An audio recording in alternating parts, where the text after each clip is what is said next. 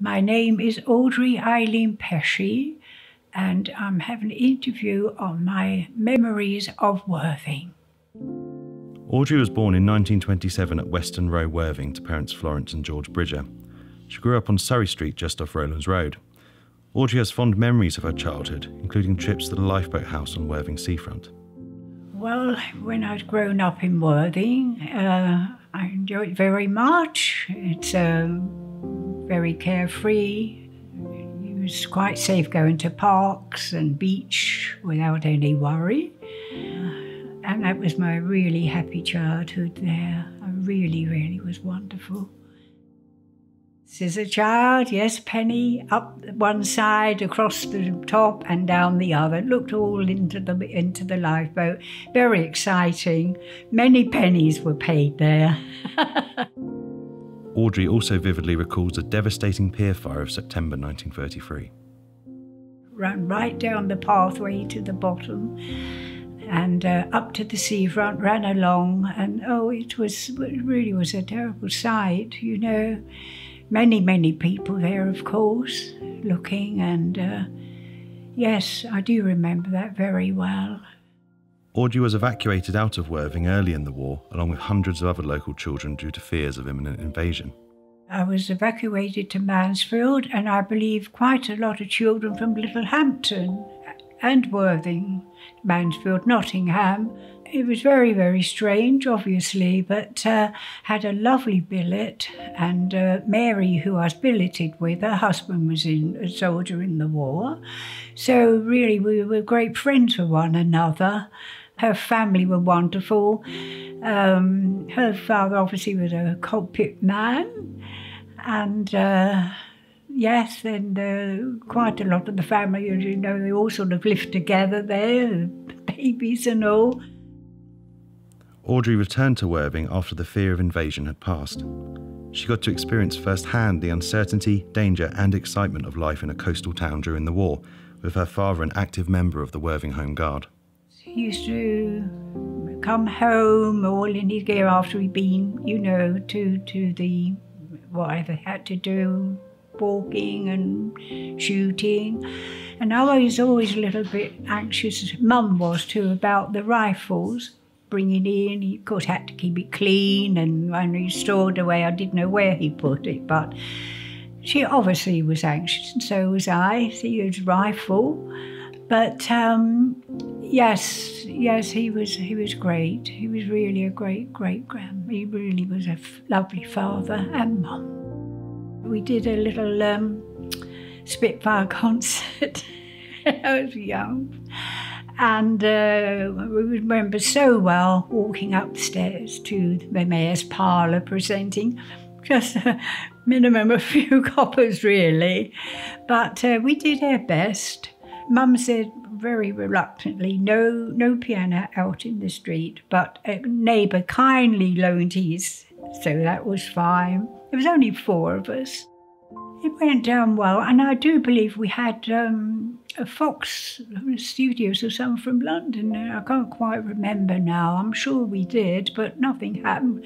We had to sort of beg, borrow, and do what we could with the costumes. and we sang the wartime songs, uh, which was it was lovely. We did a little show in the old town. Neighbours had to bring their own chairs out, of course, um, but it went down well. Yes, yes. And then I joined the uh, GTC uh, Girls Training Corps because I wasn't old enough to join up. But um, that again was wonderful. The training we had was really wonderful. All what one would have. Um, and even received my um, I think it was a, a Red Cross then. Um, we had a lesson from them making proper beds, you know, hospital beds, bandaging, head band, head bandage, and um, arms. And I received my certificate all for that. Yes, it's very exciting. And um, we had church parades to St Paul's and travelling in the blackout on my trusty bicycle with a minimum of light in the lamp. And I long for moonlight nights. Uh, but there we are. I did it, and it's lovely to look back on those years. I was in there for quite a few years. I remember uh, in Homefield Park, uh, where they used to have lovely cricket pre war and um, everything was all churned up with all the tanks and again lorries, all waiting, I suppose, for one thing or the other. It was uh, when they all went, it was it was sad to see them go, really. But there we go. It was all churned up, mud everywhere, but as a it had to be done. We had the army lorries and the army in the Berkeley Hotel, and they were all along the street. Had a job to get out with my bicycle going to work, but uh, they were lovely young boys, lovely bunch of boys. And um, I was just nosy one time, and I said, well, "What are you doing in there?" And he said, "Well, this is a workshop." We said, "We have to keep all the lorries, you know, fully going." I said, "Yes, I quite understand." And um, and in the end, to my surprise, he presented me with two little model Spitfires because he said, You're Spitfire mad. I said, Well, they, have done such a wonderful thing in London. And, um, and then one, one morning I came out and it was just so ghostly. It was just so dead quiet. And uh, I looked up at the Berkeley. Yes, all the windows were open. There were no socks hanging out and no pants or anything like that, you know.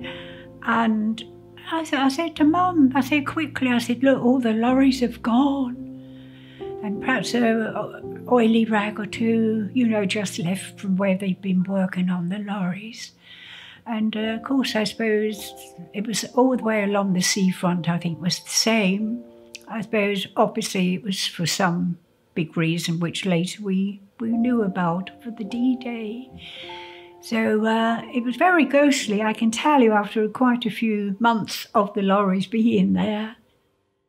That Lancaster bomber, yes, came down. Um, the, the plaza shook, apparently and uh, it just skimmed over Surrey Street and also the, the Berkeley Hotel, and suddenly it crashed onto the beach.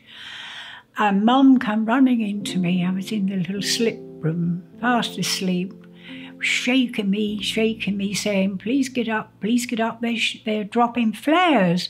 And I said, "What roses?" He said, "Oh, don't be silly. Just get up. Hurry up.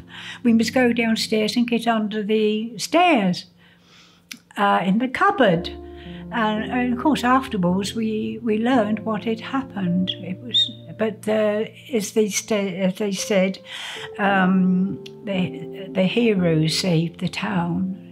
So sad, only young boys. Yes. So, and of course, and poor mum and dad, they were absolutely covered in dust about there. Half of the bedroom ceiling fell onto the bed, the front bedroom ceiling and uh, along the landing. But I, in my slip room, it was okay. But, um, you know, Mum was pretty poorly afterwards. I think it was a real shake up, you know. And uh, they were covered in all the horrible stuff from the ceiling, dust and black. So it wasn't very pleasant, I'm afraid. So there we are. Like the rest of Britain, Worthing celebrated VE Day in style, with street parties, gathering, and official ceremonies. However, rationing and some hardships didn't stop with the end of the war. Well, we were all jovial, we were all happy. Um, I think everybody, we just all were there, you know, and and it was wonderful. The neighbours came out and we would say, oh, thank goodness now. But of course, the rationing still went on, even to 1948 when I was married. Still had a few ration books, not so many, but um, yes, so it was a really, really happy day. Very, very happy.